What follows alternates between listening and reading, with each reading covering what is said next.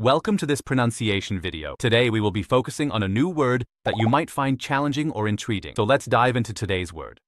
Haidi, which means seabed in Chinese. Let's say it all together. Haidi. Haidi.